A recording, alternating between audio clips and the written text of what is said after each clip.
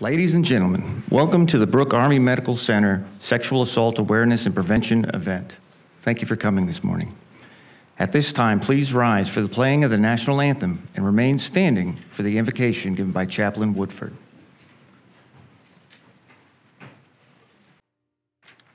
At ease, please. Please join me in this invocation for this very important occasion. Father, we offer this prayer for the lives affected by sexual assault and harassment. Because we are all made in your image, we want to honor and protect the sanctity of all lives. Give us the courage to prevent and intervene for those who are affected. Give us some awareness of others that exhibit the fruits of the Spirit love, joy, peace, patience, kindness, generosity, faithfulness, gentleness, and self control. It is our desire not to just minimize these sinful actions, but to totally eliminate these behaviors. As King David proclaimed to you with a contrite heart, create in all of us a clean heart, O God, and renew a right spirit within me. You are our honored guests at this observance. Guide, rule, and protect us. Through your holy and divine name we pray. Amen.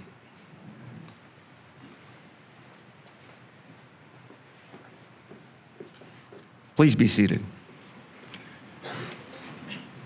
General Murray, Command Sergeant Major Reynolds, other distinguished guests, all service members, welcome to the Brooke Army Medical Center 2022 Sexual Assault Awareness and Prevention event. First, I want to thank each and every one of you for your support on this very important campaign. This year's Department of Defense theme is Prevention Starts With You. At this time, please welcome General Murray for his opening remarks.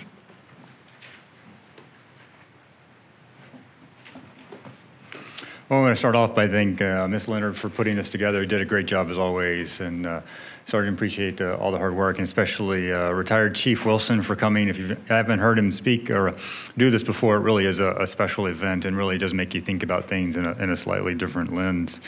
Uh, it, it, really is uh, impressive and important that we're here. Uh, you know, every April we sort of take a pause and increase our focus on sexual assault awareness and prevention, and, and it really is important. Uh, someone is sexually assaulted every 73 seconds. Let that sink in. Right? A child is sexually assaulted every nine minutes. This is our responsibility. It's our responsibility to get this right. We have to take care of men, women, children. We, we can't mess up in this space. And we have to continue that focus because it's our responsibility to get this right. What is success? Arguably, it's prevention. Don't have a case? Moving in the right direction. If you can't do prevention, then it's making sure we support the right people, right? Victims and their families. And then, how do we hold those responsible for that assault for what they did? All of that is for us to be successful, requires a lot of effort on each of our part. And this requires leaders and followers right? We have to make sure we educate you. That's what we're doing today. We have to make sure we validate that education. Many of us have done this training numerous times, uh, and I hope it continues to seek in. And once you've actually done that, then you actually have to go out there and adhere to these standards. If, if we can't emphasize this enough and can't make this a priority enough, we, we will continue to struggle with this issue every 73 seconds, entirely too much. If we do this right, it actually impacts our readiness. It takes care of us, it takes care of each other. I'm not sure we always put that at the forefront when we have this conversation. How do we make sure that our core values are adhered to? And that's what this is all about. So please continue to focus in on these areas. There's three primary holistic approaches we're going to focus on. One is all about prevention. Again, how do we make sure this doesn't happen? The next thing is make sure we prepare our leaders and followers. They actually know what they're supposed to do. And then finally, there's actually programs out there and there's requirements. New ones, which we're highlighting, and then things that have already been out there in policy and, and in law. We have to make sure we do this right. So we talk all the time about say, see something, say something. I think it's see something and hear something. Any, many times we hear things, we, we, we actually don't say anything. make sure when you say something, you're actually doing something, right? So move into that prevention space, move into that support space, make sure you're taking care of everyone, because it's really important. For us to be successful, this has to be a priority. Because to protect our force is how we protect our mission. And if we're having an assault every 73 seconds in the US, we're not doing this well enough.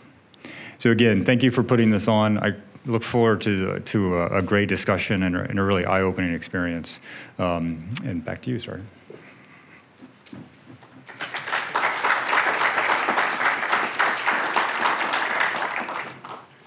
General Murray, thank you for your kind words and your sage wisdom. Our guest speaker is Edward Wilson. Edward Wilson, stage name Obie West, is a native of Los Angeles and a retired Chief Warrant Officer of the United States Army. Aside from serving his country, he is an international spoken word artist, an advocate, and an author of a poetry book entitled Blossom. Obie's life with poetry began in 2011 in Killeen, Texas, under the tutoring of the Killeen Poetry Slam, and it's thrived ever since. He travels the world as a guest speaker, presenting life depicted poetry on a variety of topics. In 2016, he altered his concentration to sexual violence. His discussions, poetic delivery, and awareness focuses on prevention of disruptive behaviors. He is an avid sexual violence prevention advocate and is committed to promoting awareness through training and education. He is also a social activist who motivates individuals through poetry.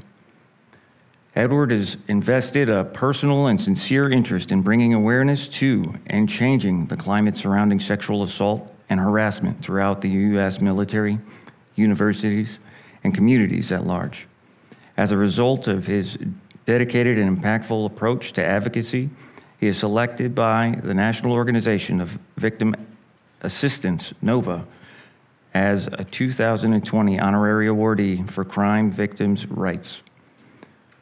Edward Wilson is the owner of Worlds of West LLC and is known primarily by his stage name, Obie West.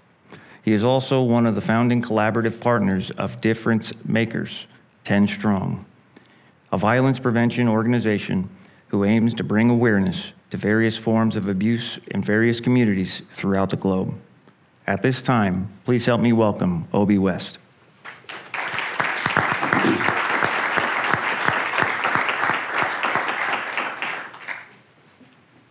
I am a leader,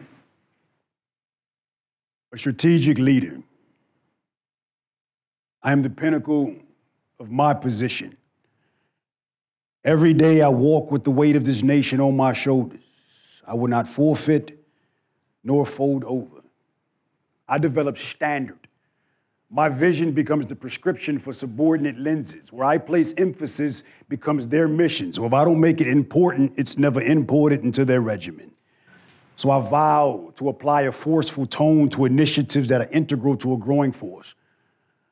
I also understand in order for us to fight effectively, camaraderie must be the cornerstone to a rock steady army. But sexual attacks will cause camaraderie to explode like kamikaze. And brothers and sisters in arms don't act like brothers and sisters after being disarmed by abuse. Internal feuds are of no use to us, and it's a dishonor for self inflicted damage to sow discord within our core. We will not be crumbled by internal war, and I have been eradicated, and I have been entrusted to eradicate such cases. I am a strategic leader. Held at high regard, but still grounded enough to connect with the root of the issue. Pain inflicted on the most junior enlisted will still sit high on my priority list. And sexual misconduct will procreate hate, creating enemies within our ranks. And when attacked, a survivor's visceral reaction is to extract, detach from the mission, creating a missing link within our chain. And then a chain reaction is a rash of bad action. So, as strategic leader, I vow to be proactive in attacking this epidemic. The goal is to get in front of it before it pushes us backwards, combat the predator tactics with modern day warfare, proofed and useful to the modern day warfighter. And our conductors would be empowered to train with the impact of a locomotive. And I would be fearless and never afraid to address an issue with the same tenacity as a ticked off howitzer. I am a strategic leader. Rape culture within our columns and roles will be canceled based on the doctrine that I endure. I will open up my doors to feedback from the force and best practices we use to improve our tactics. I am the spearhead responsible for putting a spear in this wicked animal. And I will see to it that policies and procedures are airtight and that implementers are impartial when prosecuting. This disease will not beat us. Leaders, hear my guidance. I am a strategic leader. And my mouth and tongue are just tools that I use to talk, but I will communicate through my actions. So much so that I am convinced that if every soldier looked like me, this problem will be defeated. I am a strategic leader, leader at the core. And I have been called to police my peers if they appear to be wavering, support my subordinates with the same intense consistency that I expect to be supported, and never abort the mission until the opposition is obliterated. I am a strategic leader. And I understand that greatness, it starts with clear guidance. I possess and will provide that guidance. I understand that executable instruction is the instrument needed to produce a soundtrack for victory. I possess and will provide that instrument. With the power bestowed in me, I will see to it that our executors are armed with the weapons needed to execute this target. I have an auxiliary. Subordinate leaders will plug into me for power. My priority is the men and women who have volunteered to carry out this mission. I am a leader so my name is Edward Wilson. I was born in, today I'm gonna talk to you about uh, leadership influence. I'm gonna start by telling you a little bit about myself. I was born in Los Angeles, California, right? A very influential, to say the least, very influential neighborhood, right? I was raised a way. I was, I was raised to believe that there's a certain way that you had to carry yourself in order for you to survive. And there were some things that I did when I grew up in Los Angeles that was, that was extreme and it was necessary for my survival. And I didn't realize how unorthodox or how off the wall those things were until I left. Um, my mother, I watched my mother with two jobs, right? She had two jobs and was always broke. The people who had money in the neighborhood, they didn't have a job. What they did probably wasn't legal. It didn't require a W 2. If they did have a job, that job was an alibi for having money. Just in case someone said, Where did you get this money from? They can accredit to some small job. But the primary source of their income was something else. So I have a mother who has two jobs and no money. And I have people around me who have stacks of money with no job. Who do you think I'm following? My mother wasn't my role model because she didn't have financial freedom. She didn't have quality of life. She didn't have peace of mind. It looked like they did, right? I can recall the decision I made when I decided I was going to go to the military. I don't have a, a family history of military. I was walking down the street one day after I graduated, and it was a car. It was a brown Mercedes Benz, and it was old, it was tore up, and it was probably where this just gentleman is sitting from me. And Mercedes Benz was driving this way, and I was walking this way, and I never remember, never forget, the guy had his left hand on the stern wheel, and he had an automatic weapon in his right hand, and he fired three bursts. It was brr, brr, brr, and I ducked, and I went this way. The friend of mine who I was walking with, he ducked, he went another way, and the car pulled off at the same slow pace that it pulled up with no urgency. So I checked on him, he checked on me. We was okay, we just kept walking down the street, and that was it. We come back from where we was going, and some people in the neighborhood pointed us out to law enforcement. Said those are the guys who had just got shot at. So law enforcement, they said, "Hey, the fat rewind. There were some shots on the other street that I heard prior to them coming over to my street. Some people over there got hit. So there's other cars on this other street, and there's questioning going on. So they tell us, "Let me take you around the corner for questioning." So we put our hands behind our back. They said, "You're not under arrest, so we can't handcuff you." Where I was, where I grew up, you don't get inside of a police car unless you have handcuffs on. If you're in there without handcuffs on, then you're talking to the police. That's an absolute violation. So we got on that police car and laid on the floor on top of each other. Back then, they had a big hump in the car. And we laid on top of that hump so that people couldn't see us in that car. We got to the next block. They let us out the car. They asked us questions. And we hit it all to protect the person who just tried to kill us because the code in my street is you don't you handle court in the street. You don't handle it with the law. So I don't know what color the car was. I don't know what the guy looks like. They said, okay, you all are no help. We'll take you back. No, we'll walk back. We went back. Two weeks later, I'm in my house and I'm playing Genesis, John Madden. My mother said, hey, why you didn't tell me you got shot at? I said, I completely forgot about it. So I was pretty much desensitized to that type of thing and taught to protect the person who perpetrated against me. Later on, a guy was in my house. He had an Hispanic accent and I'm in my room playing Sega Genesis again, and I walk out, and it's a recruiter talking to my mother. He's telling my mother, I can take your son to a place where he doesn't have to pay for food, he doesn't have to pay for housing. He's pretty much selling the DFAC in the barracks, right? and, and But it, it worked because my mother's most taxing expense is rent. I gotta pay rent, I gotta pay rent. So you telling me I can go somewhere that I don't have rent and I don't have to pay for food and it's not the county jail. You're like, yes, it's not. I'm like, prove it. And I get on the bus and I leave, right? So you have this kid who has all this toxic behavior embedded in him. He think that this is necessary to live, and I'm on the bus, and I'm next to somebody probably like from Idaho who's from the same country but a whole different mentality, and we're on our way to the military. So you just pulled me out of LA, but you didn't pull any of that behavior out of me. So when I went to basic training, it was like a joke to me. I didn't believe in the authority. I get off the bus and they're like, get on the ground. And it's funny. You're asking me to get on the ground. Where I came from, they put you in the ground. So you're asking me to get on the ground? No problem. So it was, it was, it was a joke to me, so I didn't take it seriously. Then I got to my first duty station, and everybody and everything looked like an opportunity to me. I remember the first time I saw an alpha roster, I tried to sell it. There's 300 names and socials on this piece of paper. You know how much money I can get per sheet? If I go back to Los Angeles, this was my mentality that that job was an alibi.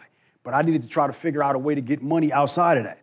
So then I start realizing you get in trouble here, they take your money. I can't get my money took. I can't go back home without anything because that's embarrassing. So I need to figure out a way to fix that. I got arrested. I was in a PX. I'm switching tags. I take a sock tag and put it on a pea coat. So I paid like $3 for a full length pea coat because it was priced like a sock. As soon as I walk out, they arrest me. This is in Fort Lewis. So this is the path that I was on because you uprooted me from my neighborhood, but you didn't pull the behavior out. So now I'm trying to figure out how to change this and I don't like authority. So I'm figuring, okay, the quickest way for me to get away from being told what to do is to get promoted. The quickest I get promoted, the less, the least amount of people I have to that can tell me what to do. That was my mentality. So now I'm looking at people who have obtained the rank that I want, and I'm looking at them as a roadmap because I'm looking for guidance. And you are an example. I want to be the rank that you have. So how are you showing up? And however you're showing up, it gives me permission to be that way in the event that I want to get because I want to be promoted. So these people started to become my guidance. Direct guidance wasn't as effective with me. Direct guidance as, hey, listen, go do this and I'll do it, that's one thing. But as far as advice, my mother would always tell me, save money, save money. But she never had the money to demonstrate what she was telling me, so I never saw the benefits of the advice she was trying to give me. My first duty station, I walked into a guy's office, and part of in processing was the financial advisor. This was some dude who was on his way out. He was getting ready to retire, didn't have anything for him to do. They made him a financial advisor. He was probably dead broke, but I had to go in there and talk to this financial advisor, and he told me what to do. Hey, listen, you're new in the Army, save this much a month. I ain't saving nothing. I ain't never had nothing, spending everything I got. So I got paid on the first, and I was broke on the second. Get paid on the 14th, and I was broke on the 15th. This was my pattern. But then I would see people who were the same rank that I was, who had money. They had financial freedom, they had all these things that I wanted, and I would go seek them out and say, How are you doing this? We're getting paid the exact amount of money. How are you keeping money? So we have direct guidance that came from my mother, but I didn't see her demonstrate it. So it went in one ear, out the other. And then you have a person who's not offering me any advice, but the way that they're showing up is serving as an example for me. And now I go to them to seek out who they are. So we have direct guidance, and then we have this thing called indirect guidance that we don't even know we're giving. It's subconscious just by the way we show up. Just by the way we show up every day, we're becoming someone else's permission to be, someone else's roadmap. And depending on your level of status, you're absolutely, you can become someone's direct order just by how you show up. So I want to talk about guidance right quick and the difference between direct guidance and this subconscious indirect guidance. I remember being in Korea, I'm standing in the formation, change of responsibility ceremony, and I'm standing there and I'm in parade rest and we're waiting for the brigade commander to show up and they tell us, hey, take off your, your PCs, put them in your cargo pocket, put on your beret, the headgear for the ceremony. So we're standing there in our beret and then a brigade commander shows up and he gets out of the car and he has on a PC. Instantly, the people who were in charge of those formations turned around, told us, take off the beret, put it in your cargo pocket and put your PC on, right?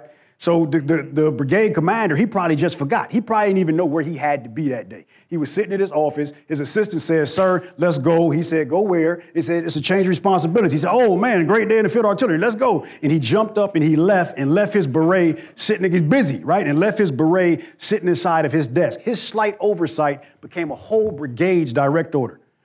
No one turned around and said, Sir, it's beret. No, they turned around to us and told a whole brigade full of people. So, because of the status that he's obtained, his oversight became a whole brigade's direct order. My first duty station, my battalion commander name was Colonel Bartran. And I admire this guy to this day. I can say his name now because he's probably 90. This was 20 years ago, or 21 years, or 25 years ago when I was at my first duty station. And um, he was about this tall, but when he spoke, it was, he had no crutch words. Everything about him just seemed top of the line, except for his BDUs. This man would not iron his BDUs. His BDUs were always balled up. And I remember a Monday morning, I'm standing in the motor pool, we're getting ready to do uh, PMCSs, and they have an open ranks formation. This is standard. We do this every Monday morning. The platoon sergeant and squad leaders coming down the line and checking the guy next to me, and this guy's uniform is balled up. And the platoon sergeant says to him something about his uniform. And this guy responds and says, How can you talk to me about my uniform and a battalion commander's uniform is balled up? And I never forget the confusion in that platoon sergeant's face where he didn't know what to say. So now that battalion commander the way he looked every day became that kid's permission to look a certain way, and it created a hindrance for this platoon sergeant to lead because of the way he showed up. So our self representation can absolutely become someone's permission to be. How many people we have in here that PETA people? PETA, the protection of animal, nobody cares? PETA? No PETA people. All right, no PETA people. All right, scenario PETA's hiring right? You ever see them people that stand on the corner with that big arrow and they flipping the arrow and they pop lock and there's a tax center over here. They stand on the corner. PETA's hiring for that. They need you to flip the sign to point to their PETA office, right? And they're paying stupid amounts of money. They're paying like $500 an hour for five hour work days. This is $2,500 a day to flip their little sign. Who's taking the job? One, two. Sean Major's taking the job. Okay, I'm taking the job. I'm gonna be the best sign flipper that there is. I'm definitely taking the job. So who's somebody who said they were taking a job? Who hand went up? Your hand went up. You taking a job, right? You take the job. So you out there, you flipping your sign. At the end of the day, doing all those things. At the end of the day, you take your animal suit off, you give it back, they hand you $2,500, and you walk off. What's the chances after you leave that day you're gonna go talk to somebody about the importance of animal rights? You, you, you will? after you leave, you're going to go talk to somebody.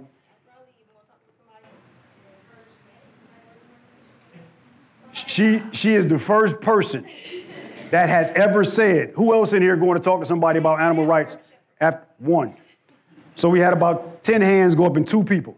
She's the first person that said that she would go talk to somebody about animal rights after she give the suit back. Most people like once they get my $2,500, I'll talk about it the next day once I get back in uniform. And that's the difference between having a moral obligation to something and a professional obligation to something. Whenever you only have a professional obligation to something, you're going to do that thing during the time that you are on duty, but once you're off duty, you're not going to enforce the same thing that you were standing for a few hours ago whenever your obligation is only a professional obligation and it's not a moral obligation, it's noticeable.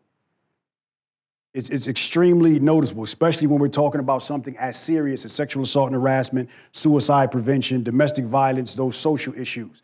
And I've heard a lot of leaders say, listen, that's not important to the boss. We can't focus on that. It's not important to the boss. We have to do what's important to the boss because my rating is dependent on that. So, pretty much, your moral posture as the leader becomes inherent on the people who are under you because they're not emphasizing on anything that's not important to the boss. So even those things that we have a moral obligation to versus a professional obligation to serves as somebody's guidance on what they should be focused on. When my daughter was about seven years old, she uh, made the worst mistake of her life. She said, Daddy, listen. She was watching this stupid little YouTube channel where some little kid made a video describing the different types of parents. This is the fun loving parent, the killjoy parent, the sleepy parent, the cheap parent, the spoiling parent. And she was like, Daddy, that's the one that you and mama are. And it was the parent who always barks these things but never enforces it, who always gives idle threats but never really does anything. Her life has been in shambles since that day. She's, she's, she's 19 now, but she was seven when she did this. But what she let me know is even at seven years old, she could recognize whenever a standard wasn't being enforced on a consistent basis. And our inaction became her, her permission to behave in a certain way because she knew it wasn't go anywhere, it wasn't going to go further than the yelling. We were going to yell for a minute. We were going to say that we were going to do a certain thing, but we never carried out that thing. So as long as she was willing to take the yelling, she would do whatever it is that she wanted to do because she knew the only thing that was going to happen was the yelling. The consistency in which we enforce a standard becomes permission to be for the people who are in our organizations. So all these things are forms of indirect guidance that subconsciously we may not even know that we're giving. Next thing I want to talk about is something that I call the basic component, right? You can go to any organization and you can pull a number of people out of the organization and ask them what's some of the priorities of your organization, and they're going to be able to tell you because it's, it's, it's always emphasized. When they're in formations, they're going to hear about it. The mission statement talks about it. So you get 10 people, eight of them are probably going to have close to the same answer, right? So there's some things that we have to make sure that we make important. One is this thing I call the basic component. If you uh everything, everything in life that's functioning has a basic component. If you're a race car connoisseur and you have a race car, you have all this expensive stuff. You have a high-end transmission, a high-end engine, the best rear end, all this stuff, but you show up to the line and you have no fuel, great chance you're not going to win the race. Because you don't have that basic component. You have all this expensive stuff and don't have the basic component. When I was in basic, we did this drill um, buddy set, buddy go. She already remembered. I don't know what they do now in basic. It's probably like buddy text, buddy. I don't know what it is. But it was buddy set, buddy go. And it was a drill showing us how to move through a combat area with two people. I say I'm set, I move forward, this person covers me, and then I tell them to go. I forgot exactly how it goes, and we move through this combat zone. Very easy when you have BFAs on the tip of your weapon and there's no incoming fire. Very, very easy. But you put us in a combat zone, I'm not sure we still fight like that, but you put us in a combat zone and there's actually rounds coming in. I don't care how set this buddy is. If I don't trust this buddy, this buddy ain't going nowhere. Not going.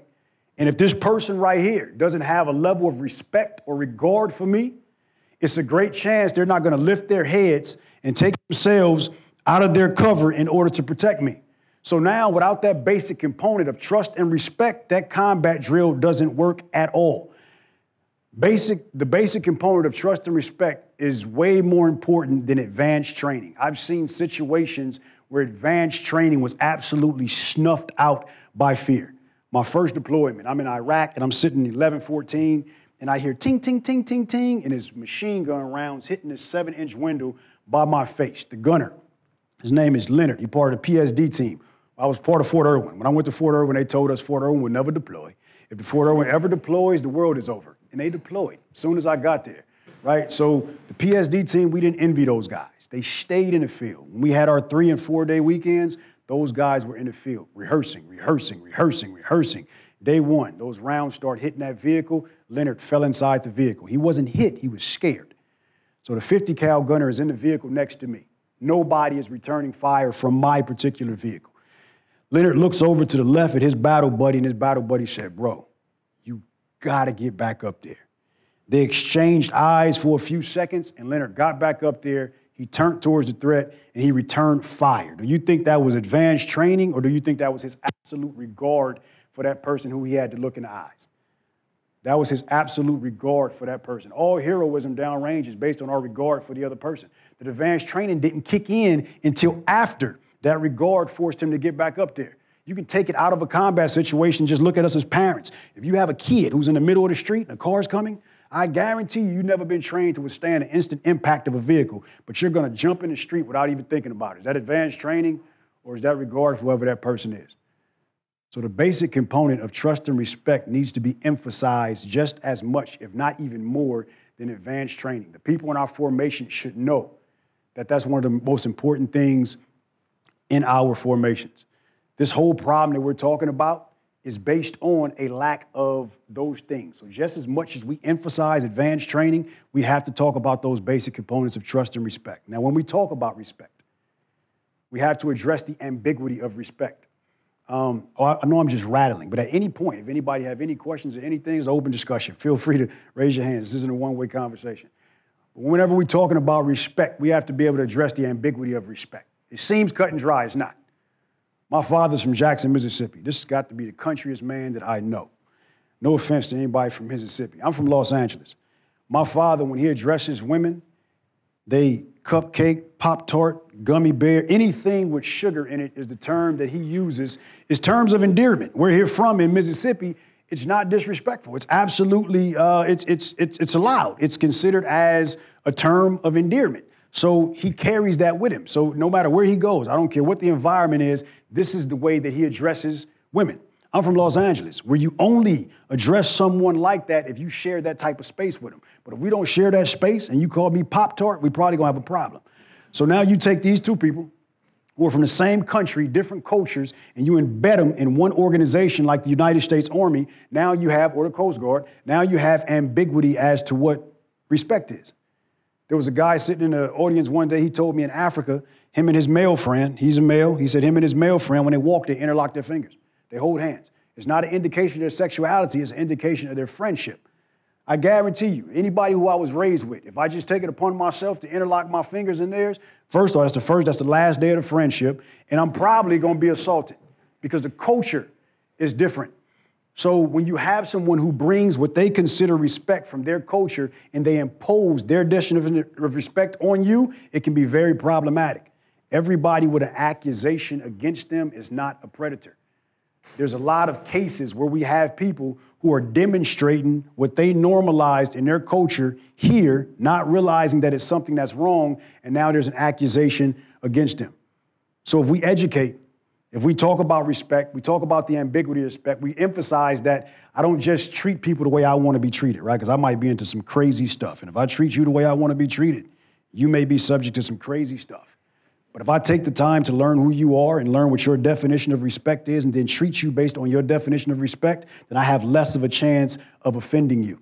So if we do that education and we can get rid of those cases of sexual assault and harassment that aren't intentional, they aren't predators, now all we have to deal with is the blatant predators and those numbers will probably go down. Now we have less people to focus on. So it's very important that when we talk about respect, we address the ambiguity of it. And then there's the respect of authority versus the respective person. When I was in the, I'm sure y'all get it all the time. I would be walking, and a person coming towards me, if they didn't know who I was, they would be staring at my chest to figure out how they're going to greet me, how they're going to speak, if they have to salute, just if they're even going to speak at all. So I'm going to look at your chest to determine what level of respect that I need to give you. If it was somebody subordinate to me, they would speak with a lot of enthusiasm. If it was someone senior to me, they might not say anything at all. If it was someone who I had to salute, they would probably be looking for their salute, but that's the extent of it. That's the respect of authority versus the respect of person. There's numerous times that I've stood at parade rest or the position of attention for somebody, and the only reason I did it was self preservation because if I didn't do it, my check can be taken. But if I could slap the, I would have, right? And if I saw that same person on the, on the side of the road, they would still be on the side of the road after I saw them. There's no chance I was going to stop for them because I have respect for their authority, but not their person. So you can ask yourself right now, the person next to you, do I respect their authority or their person? And your answer is going to tell you whether or not you'll take care of that person in the event that they need you, which now influences bystanders. If I have respect for a person's authority but not their person, and I see you in a crunch, we've looked at the statistics and it says, based on all the cases we've had in this unit, these are all the components that were in, we had alcohol, we had this, we had this. So whenever you see a situation and all these components are married in one situation, it's, prob- it, it's, it's a probability that that might turn out bad. And I can see you in that situation. But if all I expect is your authority, that's on you. So how we respect people is very important. If you have to demand respect, it's probably just the respect of authority. In the military, we have this thing to where we have permission to treat people based off of their rank. It's just an unwritten permission. And some people utilize that to their detriment. And when you are subordinate to people, but you notice they're still treating you as if you're human, inherently, you're going to respect them. You don't even, they don't even have to demand it. You're going to respect them. So when you find yourself having to demand respect, it's, it's probably at that point it's time to do a self assessment and see whether or not you're carrying yourself in a way that people naturally feel is respectful. Now, how do we train this topic? How do we train this topic? Um, it was it was three. I feel like the old dude in the PX with the pins in his hat talking about. It was 350-1. Is it still 350-1? Talked about training. Okay, so 350-1 talked about training. It talked about what the training standard was, and everything was measurable by score, um, by score, right? If you go to the, the range and you hit a certain amount of targets, it's going to equate to this score. If you're taking a PT test, it was PT test when I was in. Now y'all scaling walls and flipping. I don't know what y'all doing now. But if you're taking a PT test and you run this fast, it equates to this score. You do this many reps, it equates to this score. So if I run this fast and you only run this fast, I'm more efficient than you in that event. Bottom line, right? But when you talk about things like sexual assault and harassment, these type of programs, now it's measurable by the amount of time that you talk about it. So how do you gauge efficiency? If I talked about this for an hour, but they talked about it for an hour and a half, is it guaranteed that their conversation was more efficient than mine? And whenever you're, you're talking about enhancing a, a a PT test, um, BRM, and things of that nature, you can identify your shortcomings. This is the area where I'm weak. So I'm gonna go work and I'm gonna get better in this area. So when it's time for the real thing, I'm ready. The only time you can identify your shortcomings when it comes to sexual assault and harassment is right before, during, or after someone has been assaulted. So those things can't be trained the same. Whenever you're doing technical training or tactical training, you're training to enhance a skill. When you're talking about this, you are training to change a person. So those processes can't look the same. So, how do we train when it comes to sexual assault and harassment? It can't just be limited to training, it absolutely has to be a lifestyle. So, two ways that we can make this thing a lifestyle is one, we have to be conscious about reapplying lost definitions. Whenever something goes unaddressed for so long, it loses its identity as being wrong, right? Like jaywalking. Some places, some people I don't even know what that term is. It's when you cross the street illegally, right? But if that's a term, and I always cross the street and no one ever does anything to stop me, now it's just called crossing the street. It's not jaywalking anymore, right? Like well, grass. That's probably everybody's first cuss out in the military is standing on somebody's grass, especially in the army, right? So we're gonna name that grass harassment. We're gonna call it grass harassment. So say there's a patch of grass and there's my destination is over there, and I'm walking here, and I don't want to walk around. So I cut across this grass, and no one says anything. What am I going to do the next day? I'm going to cut across the grass. No one says anything. That now has become my way to get to my destination. At some point, that area that I'm crossing is going to start to show the damage of that infraction not being corrected. It's going to turn to a brown path like an unimproved road, right? So now when we see brown trails, what does that mean to other people? That's a walkway now. So now my indiscretion that wasn't corrected has now become someone else's permission. That damage has become consent for the next person to do the exact same thing because it went unchecked. Now it's not, it's not grass harassment. Now it's an actual trail. It's a way to get there. So when something is unaddressed on a consistent basis, it loses its identity as being wrong. But what if I stepped on the grass and as soon as I did it, I heard the sergeant major out the window, hey, I look around. And I just hear somebody say, get off my grass. I don't even know where it came from, but I'm off the grass. now I'm not gonna do it. So that damage is never gonna show up because he just reapplied a definition to whatever that infraction is. So I'll tell you how this looks when we're talking about sexual assault and harassment. I had a barber, and my barber's cutting my hair and there was four other barbers, all males. And I'm feeling, okay, this is a perfect time for me to get a sample of society. So I asked my barber, I said, hey, what do you think would happen if you went inside of a social setting and you grabbed a woman's crotch area? Oh man, it'd be chaos. I'm gonna have to fight her. Security guard's gonna grab me, they're gonna put me out, I might get arrested. This is all the things he said. I said, what if it's the other way around and she grabs yours? What would you do? He said, oh, it's on. He looked at that as it's a come on, it's a way of flirting. So he has a different standard of what assault is for a woman than what he has for a man. So when he's a man, even if he enjoys that, what he's doing, he's speaking on behalf of our entire gender. When he allows that to happen, he's sending a message that this is an okay way to approach a man. So if a million people from my gender says that's okay, and I'm the million and first person, and I don't think it's okay, when I'm grabbed, what gives me the right to report? My gender has already made this okay right? Because they allowed it, it's lost its definition of being wrong. So let's talk about another story. Another friend of mine who's a poet, he was telling me about when he was in college. He met this girl. They were in a, uh, they went to her hotel room, and when he walked in the room, there were two other girls in there. The other two girls said, hey, we're going to smoke. You want to go? He said, no, I don't smoke. They knew he didn't smoke. So they left out the room, and they left him in the room with the one girl. She goes to the bathroom. She comes out naked. She runs and jumps on him. He stops her. He says, hey, hey, wait, wait. You know that's sexual assault. She said, I never looked at it like that. After conversation, she told him that every year she targets a rookie on the basketball team. And she does that exact same thing. And he's the first person out of all the rookies that has ever turned her down. So you got a woman who runs out of the bathroom completely naked and jumps on a man, and she has never thought about the fact that that's sexual assault until he said the word. And she froze and so I never thought about that. And then embarrassingly went and got dressed. What's the chance that she's gonna do that to the next rookie? Probably not, because he's now reapplied a definition to her actions, and she realizes that this is probably an infraction. So we have to be able to do that on a consistent basis. There's things that we contribute to and we don't realize how it's creating a culture in order to fight against this problem. Sir, if I can ask you a question. We talked about the grass. We know how important area beautification is in the Army, right? So you're walking past some trash, big trash, a can, paper, and you walk past and you don't pick it up. What's the chances a junior enlisted is going to say, Sir, you saw that on the ground. Why didn't you pick it up? he says zero. Zero. What he's admitting is he can be as wrong as he want to be as long as he's the highest ranking person in the area.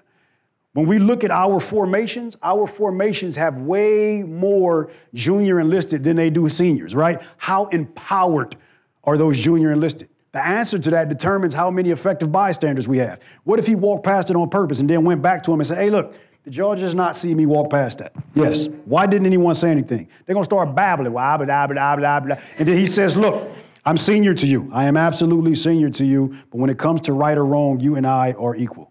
I'm not. It's not okay for me to be wrong any more than it's okay for you to be wrong. Now, at this point, he's empowering these individuals to say something.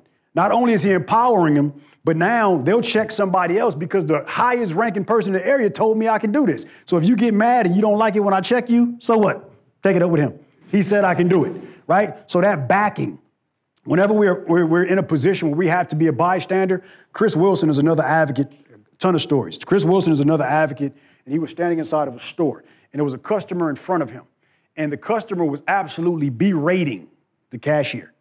The cashier in shambles when his customer leaves. Chris didn't do anything, wanted to, but didn't.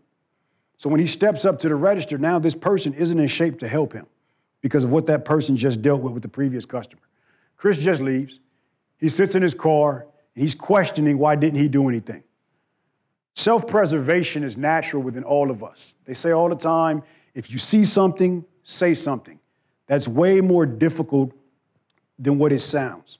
Self preservation is natural. In order for us to be an effective bystander, we have to defy what's natural, step out of our safe place, and put ourselves in a line of fire for someone else. Chris was safe right here. That had nothing to do with him. He got to step out of that safety and put himself in a line of fire. That doesn't come natural. So self preservation keeps us in our place. In order for us to be an effective bystander, we have to be able to defy that. In this type of dynamic, when you talk about the armed forces and things of that nature, the only way we're going to feel comfortable with defying that is if we have backing, is if the leadership has empowered us. What if the police was in the back by the freezer and they didn't hear it or he saw them outside? He might have felt a little bit more, he might have more comfortable to do something because if it got crazy, the police are right there.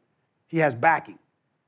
So, as leaders, we have to empower our subordinates to, to want to stand up, to be able to stand up. We have to give them the courage to defy that natural tendency of self preservation. And in doing that, we also have to make ourselves receptive to correction. If I'm going to correct somebody and I know they're going to chew my face off, it's a great chance I'm just going to let it happen. I remember when I was in Fort Irwin, we had a supply room that was very unorthodox. It was authorized at 30 level, a 20 level, and three tens. So I was the 20, and we had the three tens, and then we had the 30 level. Sergeant Madlock. All these people were 90, so I can say their name. Sergeant Madlock, she she didn't act in a way that made these individuals want, it just wasn't a comfortable work environment. So the 310 levels came to me and they talked to me and I went to go talk to her. And before I can get a word out of my mouth, she said, You don't check up, you check down. That's what she said to me. So if that's the message, and I actually take that and I abide by it, now in another situation, if I see someone who's senior to me and they're potentially harassing someone, or they're going to walk into a situation that I know is going to be dangerous for them, what's the chances I'm going to step up and say something? I'm probably not, because what she taught me is I check down, not up. So we have to make sure that that's not the message that we're perpetuating throughout our formations, that we're ineligible to be corrected because we are senior to you. We are senior, and that senior does give us certain privileges. But when it comes to right or wrong, everybody absolutely has to be equal. And I don't know if every, I didn't, when I was in the military, I don't know if every subordinate feels that they're equal when it comes to being right or wrong. So empowering a bystander or empowering the people is how we create a culture of strong bystanders. That's another way that we train this emotion. I went to an Air Force base and I'm talking to 20 people who went to school to be professionals for SAPR. And I asked, it was 18 people, and I asked all 18 one by one, why are you here? Each person were a survivor of sexual assault or very close to someone who was, except for one. One guy said, I just wanted to do it because I think it's important. But the other 17, they did it because they were a survivor of something or attached to someone who was. So things that happened to them made it important. It just weren't there because it was imp- something had to happen in order to make it important. They were triggered emotionally, like me. I'm a junk food fanatic, right? Junk food fanatic. I can eat a piece of candy and read the nutritional facts, and it will say this is going to demolish your teeth and kill you. And I'll keep eating the candy while I'm reading it. But if I go to the hospital, I'm diagnosed with diabetes, and they tell me my life is in danger, instantly I'm gonna change my diet because I've been emotionally affected by that information. The data wasn't enough, right? So we can look at this 78 slide deck that DA SHARP puts out and we can look at it and, and take that data all day. But until we figure out a way to connect emotion to that data, it's less likely to become a call for action. So when we're training in a training setting as trainers, we have to figure out a way to create that emotion whenever we're talking about this topic. And I think we're reluctant to do that oftentimes because we don't want to trigger. Triggering isn't bad. If I'm sitting in the audience and you say something, and I say, you know what? When I leave up out of here, I'm gonna make sure that I create a space so that that never happens again. I was triggered. So we have to figure out how to trigger without re victimizing. We tend to associate re victimizing with triggering as if it's the same thing. It's not the same thing. So if we can figure out how to trigger without re victimizing and attach emotion to the data, then I think we get a more effective outcome when it comes to training. Languaging.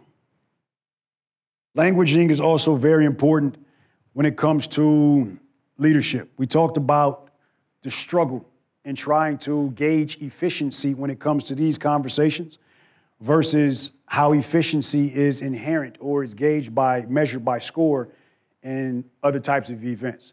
So when I was a property book officer, I would go to staff call or command and staff, different name depending on the organization I was in, and I already knew what the person, my leader at the head of the table, was gonna ask me. So all week, I worked to create a product that was gonna allow me to give a satisfactory answer to this person, because I didn't want my slides up there for too long. I wanted you to ask me a couple questions and say, okay, on to the S3. At that point, I don't even need to listen no more. I ain't even part of the meeting. You know, got past my slides. I don't care about anything else that's going on. This is what we do. We work all week to create a product that we know is going to be satisfying to the person who's sitting at the head of the table. So if I'm a SARC and I walk in there and the person at the head of the table asks me, how are we doing with training? Say, oh, we did an hour this day, two hours this what day. We're scheduled to do two hours on this day. We're going to be good. And I say, okay, next slide. Am I really checking on the efficiency of the training? Or am I only checking to make sure we met that standard that's in 350 1. But if I ask the person, did we have anybody who came forward either after the training or a couple days after the training? Normally, that's a gauge of a successful training when someone feels empowered enough to now talk about something they didn't want to talk about before. Did we have people who who were engaged, voluntarily engaged. Not, hey, listen, three questions before we go to lunch and nobody's going to lunch. Not that kind of engaged, but voluntarily engaged. Did we have any? So when you start asking those type of questions, now you're actually checking on the efficiency versus just checking to make sure we made the standard. And now it gives that person something else to work towards. I just can't meet the hours no more because that's not going to satisfy the questions when I go in there every Wednesday. So now it motivates that person or it incentivizes, it creates an incentive for this person to go above and beyond to make sure I'm meeting the standard for the person who asking the question. So as a leader, the way we inquire about the programs that are within our command shows um, how we feel about it and it allows us to gauge the efficiency. Gender neutral is also very important. I've said in trainings where there was two law enforcement officers in Texas, and they came up with a training about domestic violence and sexual assault and harassment. They traveled around the world with this training. They came to Las Vegas. I live in Las Vegas now. So I figured I'll go to this training for a week. They created these scenarios. They're created. So these are real scenarios. In order for them to teach their class, they're going to do it with these scenarios. Every scenario had the man as the victimizer and the woman as the victim. So I sat in that class and felt like the class was being taught to protect the world from me. At that point, it becomes very hard for me to pay attention. So after about the third day, um, we were on break. These two gentlemen were by themselves, and I asked them, I said, hey, I noticed this. And they looked at each other. They said, we never thought about that. How do you never thought about that? You're teaching this class, which means you're supposed to be an SME in this topic, and they said they never thought about it, and for the future classes, they'll change the slides. There was an organization who asked me to come to their organization. They created a flyer. The flyer said, this can happen to your mother, this can happen to your niece, this can happen to your sister, this can happen to your auntie. It had all the people that this could happen to, and every gender was a woman. So if I'm a man in that organization and something happens to me, what's the chances I'm gonna go forward? Probably not, because I don't believe that my organization thinks that this is my problem. And they might not even know how to care for me. So I'm probably not gonna go forward because you've made it clear that you only think that this is a woman's problem. North Carolina, the definition of rape in North Carolina is forceful vaginal penetration. First and second degree um, rape is defined by forceful vaginal penetration. The term vaginal is embedded in the defini- definition. So if I'm a man in that state, my state doesn't believe I can be raped based on the definition of rape. There's a lesser charge for sodomy, but based on the definition of rape, I can't be raped in this state. So, whenever we're talking about this and we're not talking from a gender neutral perspective, we're sending a message to a certain gender that you're ineligible for this. So, if it happens to you, don't even come this way. And as men, just by our chromosome configuration, we've already been convicted of consent, which is why it's very hard for men to report. So, we can subconsciously contribute to that by how we address this topic. So, we have to make sure that when we're addressing this topic, we're addressing it from a very, very gender neutral perspective. Um, another thing about languaging is zero tolerance. We've always all heard the term zero tolerance. I've seen this translated in two ways. I've heard a senior say, I have zero tolerance for this. And then I've heard a subordinate leaders say, listen, the boss has zero tolerance for this. He or she don't want to hear it. If it happens, we need to figure out how to handle it so that we don't have to go talk and whenever that's your approach, I guarantee the way you're handling is probably going to be a detriment to that person who came forward with an accusation.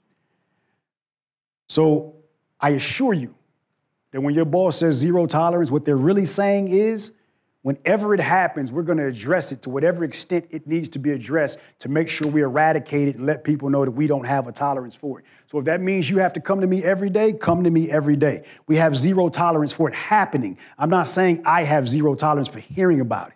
So whenever we talk about zero tolerance, in order to alleviate that confusion, it's very important that we emphasize hey, people are protecting their livelihoods in these organizations, right? When I was in the middle, my promotion was based on what my senior leader thought about me. Not what I what that person thought about me. My promotion is based on that. And that, that can create a conflict sometimes. So we have to make sure that we're telling people, hey, listen, this is not gonna hurt you. I'm not saying I have zero tolerance for hearing it. So whenever we say zero tolerance, we just have to understand that that doesn't automatically translate the way we want it to. And that is very, very important that we put some explanation, attach some form of explanation to that so that people understand. The last thing that I, that I want to cover, and it's going to be real brief, there's a lot of leaders in here, and I gave the example about PETA recently. And the anomaly over here said that she will go talk to somebody about it. Most people say that they won't. So if, if I'm doing a thing during the day and I'm being paid for that thing, and after I'm done doing that thing, I don't stand for that thing, that's also the difference between appointment orders and being an advocate. When you just have somebody who's on appointment orders and they're not an advocate, great chance they may turn into your problem as soon as they're off work. So whenever we're accepting people for these positions, to be advocates, we have to, to be um, SHARP professionals, we have to first make sure that these people are indeed advocates, that they stand for this even if they weren't on appointment orders. And if we do that, We'll, we'll make sure that these people are giving the proper care that they need to people who come forward with accusations, and they're really putting the emphasis into the program that needs to be there in order for us to affect some type of change. One last thing um, bystanders. We talked about bystanders. One of the best ways, especially in a, a dynamic to where there's a rank structure, and sometimes in order to, pr- to protect the health of our office, we try to avoid certain types of conflict, right? The, the chaplain, chaplain, right? Okay. The chaplain is, is a prime example. The chaplain can walk in any room, and people go, don't say that, chaplain's here.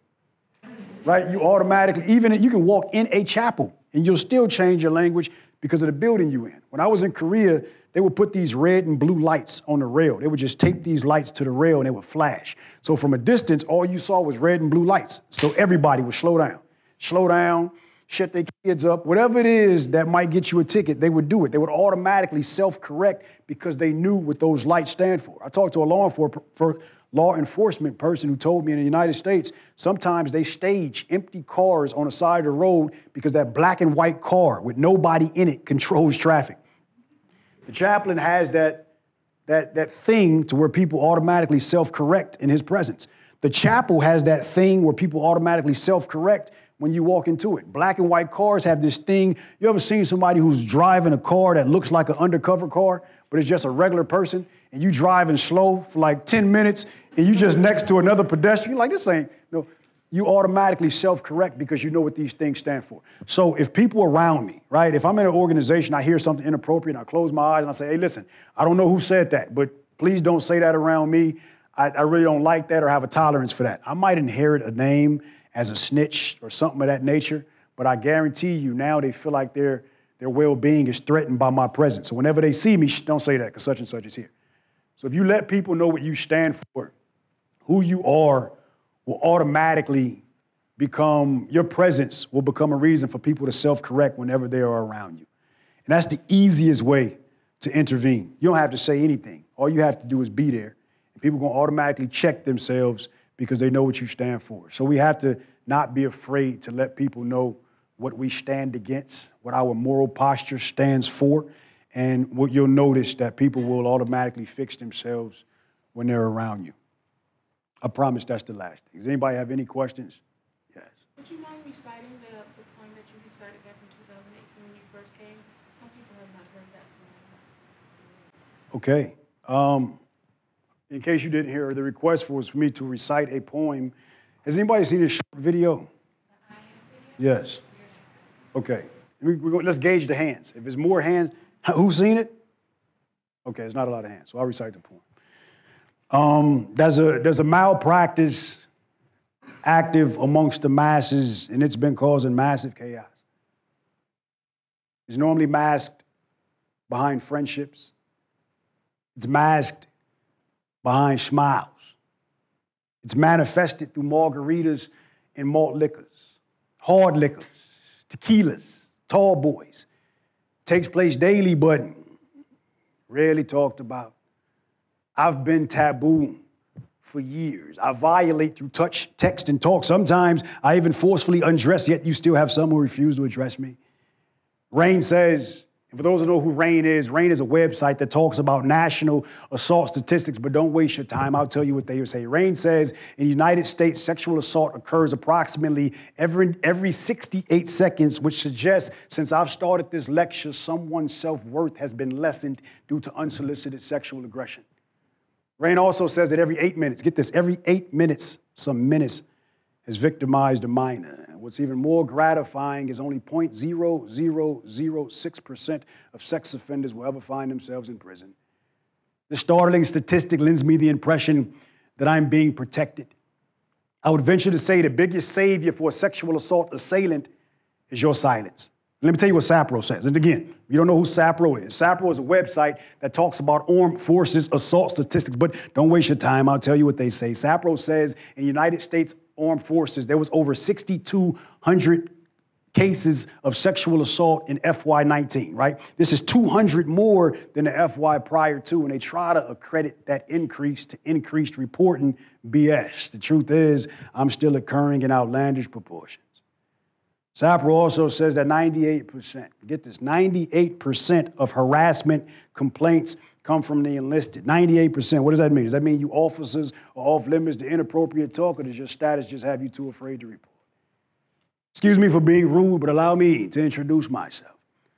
I'm the reason for all these briefings, the constant preaching and the redundant teaching. I guess your leadership figures that if you constantly train, that eventually you'll be able to tame me. That's a large feat. I'm the SHA in your SHARP program. I'm the ulcer in the belly of your organization. I'm the degradation of your seven core values. I'm the bane of your SOC's existence. I'm the real deal. You all, you're just child's work. I am the strongest army on earth, and ironically, my recruits are forces from your armed forces. I force discord between brothers and sisters in arms, and forewarning, I've been swarming your ranks at alarming rates. All it takes is supposed to be double distance away, double arms distance away at close intervals and for her to be dressed right, wearing something tight or something short, so it lets me know that she's open for my type of attention. See, she joined so she can be a part of something she can be proud of. And I'm sure her parents thought that she would be safe amongst your ranks, but I'm the paw print crawling up your daughter or your little sister's inner thighs while she's in her sleep. I enter her room so I can enter her wound. Alcohol, yes, alcohol normally increases my success rate. These two dudes saw me drag her. Oops, I, I, didn't, I didn't drag her. They saw me walk. They saw me walk her in, and neither of them said a word.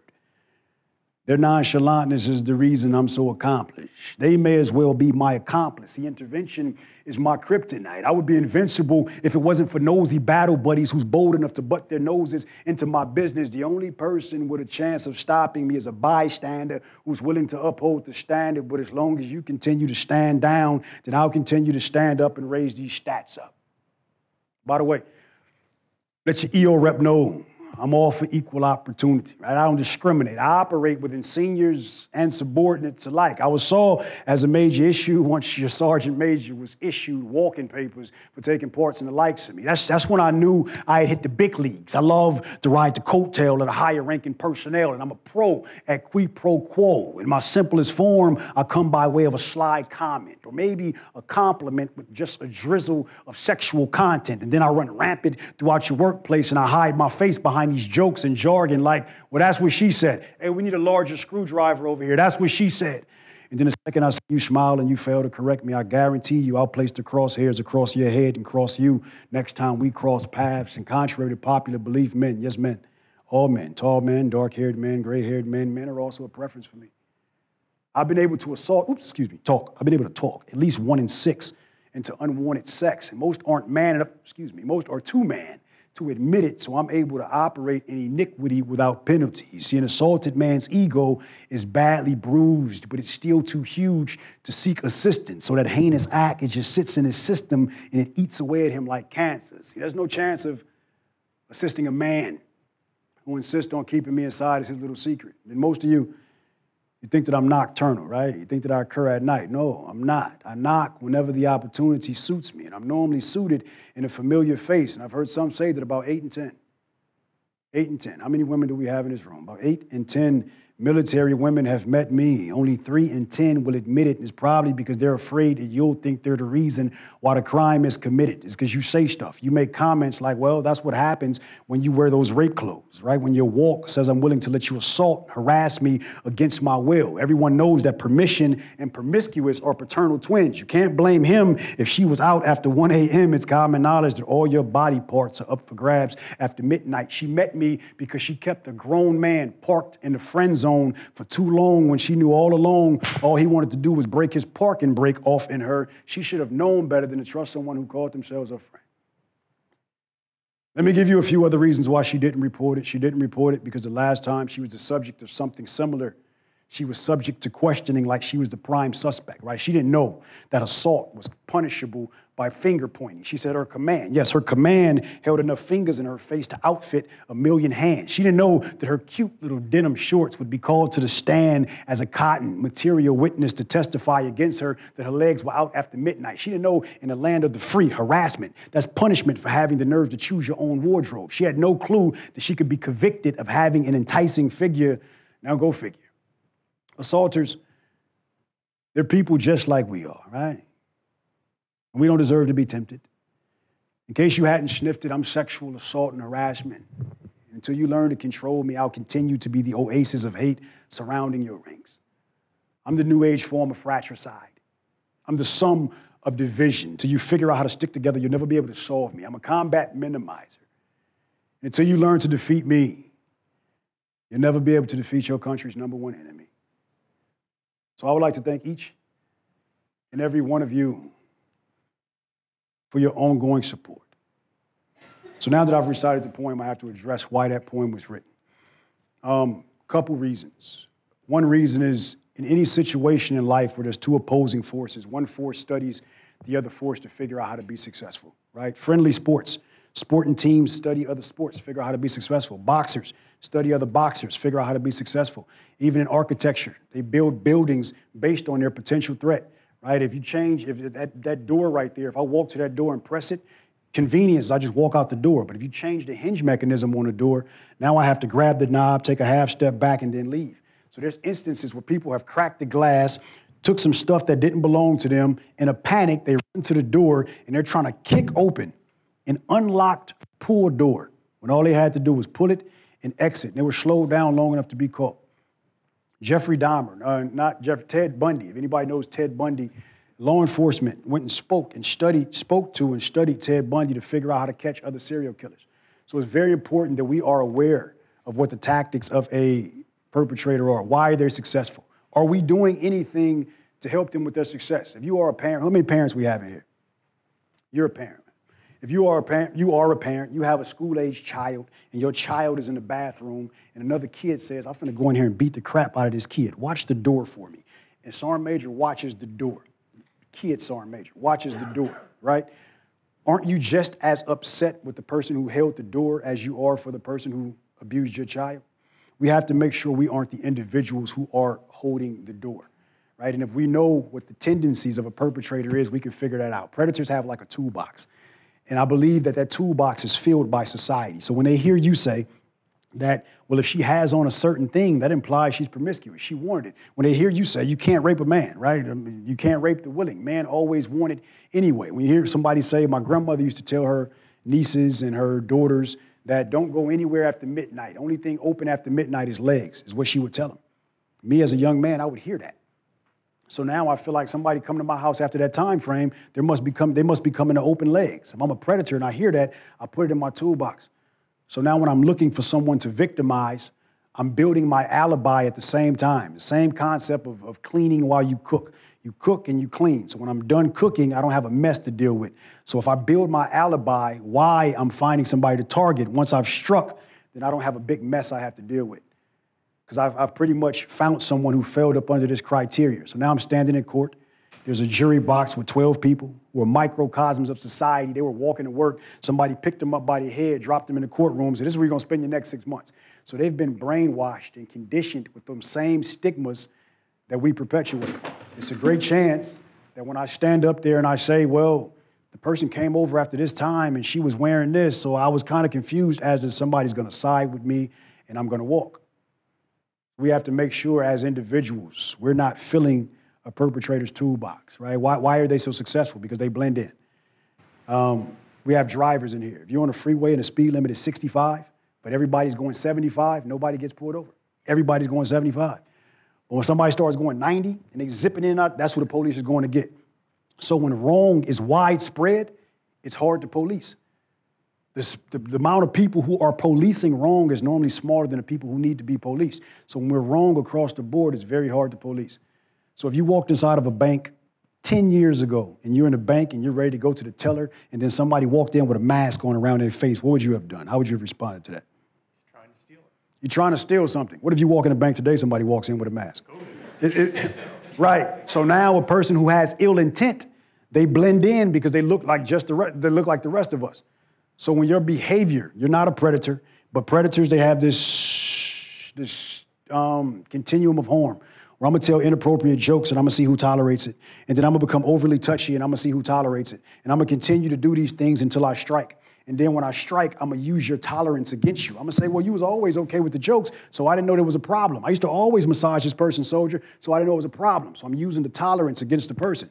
But now I'm a person who's not a perpetrator but I tell inappropriate jokes because I just like the social currency. I like people to laugh at me. I'm overly touchy because I'm from Jackson, Mississippi, and I just think that it's Southern hospitality. So you have two people doing the same thing who has different intent. How do you tell one from the other? And the perpetrator is now able to blend in because this behavior is widespread. But if we know the tendencies of a perpetrator, we can delete that, we deplete that behavior from ourselves. So now they stand out. When we see it, we know we have a problem. So that's why it's very important to know that perspective. Um, that poem wasn't written to antagonize; it was written to to inform. If we had actual predators who say, "Yes, I was skewed at some point. I'm better now. So let me talk to you about why I did what I did and how I was successful," I think we would get a lot more. But they're not showing up that way. So I had to create something um, that I felt like would help in that area. So that's why that poem was created. For real, I'm done.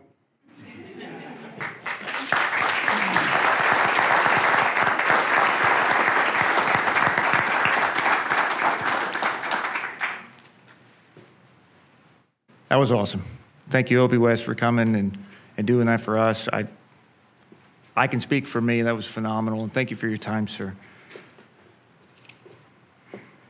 At this time, General Murray and Command Sergeant Major Reynolds will present a token of appreciation to Obie West for sharing his presentation on how leadership influence affects human behavior.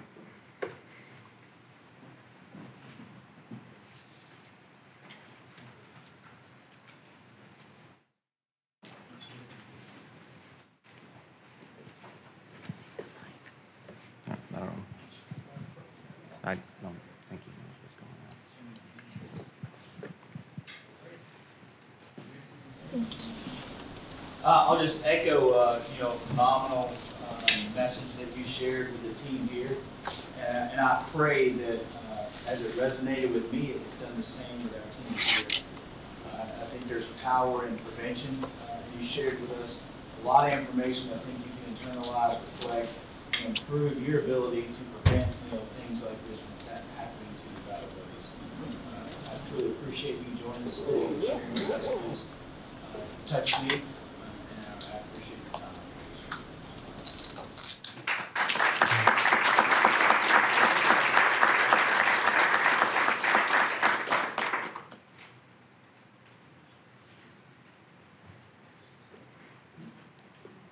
You you can if you like.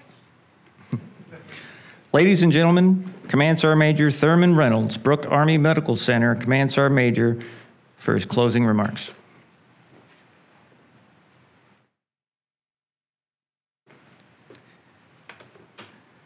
Again, thank you for your, uh, your time uh, and your messaging. Uh, And, uh, and I'm, on behalf of uh, Team BAMC, uh, we thank you for sharing your time and your messages with us. And hopefully, like I said, I hope it resonates with everybody in the room and those that are listening on, online.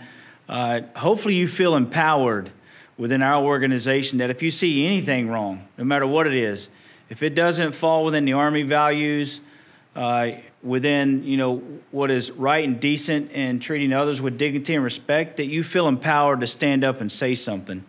Uh, I hope everyone on Team BAMC feels that way. If you're not, you are empowered uh, to correct something. Uh, like you mentioned earlier, if you walk by something that you know is wrong, you're setting a new standard and empowers others uh, to do that wrong.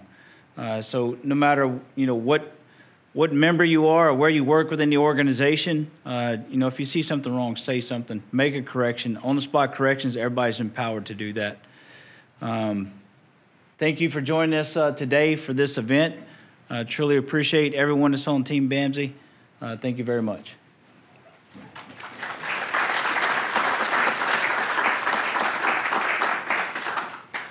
We are now going to have General Murray sign the proclamation in recognizing SAPM 2022.